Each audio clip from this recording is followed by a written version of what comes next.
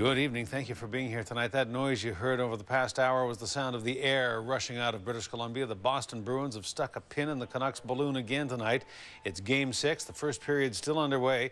A win tonight, and it's still possible that that could happen, would crown the Canucks Stanley Cup champions. But a loss, and that looks like that could be the result tonight, and it'll be a winner-take-all game seven Wednesday night back in Vancouver. That looks like that's going to be in our future, despite all of the best rituals and superstitions and whatever else you were doing to send good energy the Canucks way. Here's A News reporter Erin Glazier.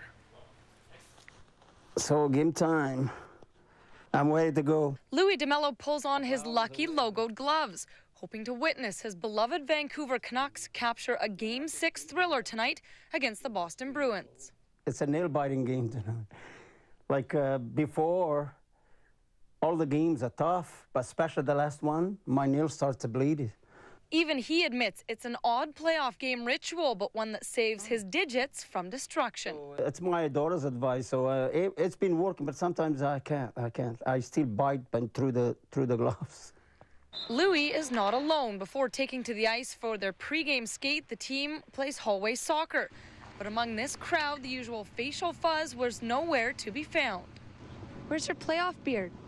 My playoff beard? This is it the, the wife made me shave, so. Missing in Vancouver, the flame at the Olympic Cauldron. The Premier opted not to relight it after back-to-back losses in Games 3 and 4, despite the Canucks winning Game 5. From pint-sized puck handlers... Go, Canucks, go! ...to lunchbox heroes and even my cameraman. Victoria's Centennial Square was alive with Canucks spirit at noon, playing out on the pavement the game day superstition of pickup shinny prior to puck drop. It's so much fun to just be able to watch people walking through the square and drop in and, you know, in and out and kids and adults alike. It's tons of fun. Oh, I love it. I grew up in a hockey family. We all played hockey and this is great.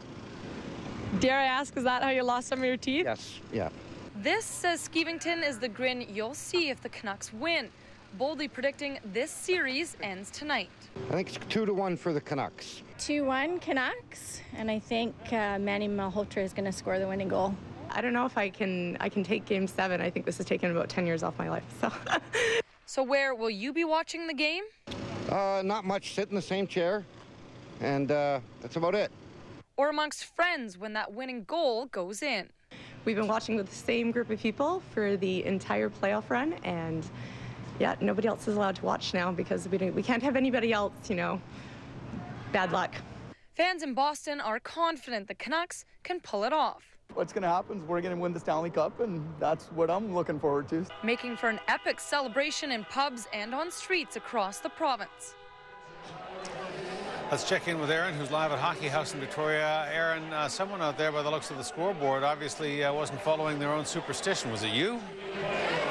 Not me, Hudson. I come here every game, and so far it has been a lucky place, but definitely not tonight.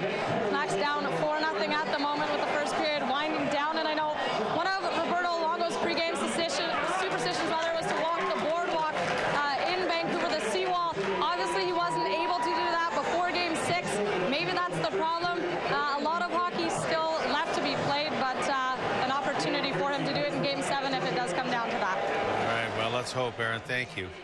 Welcome.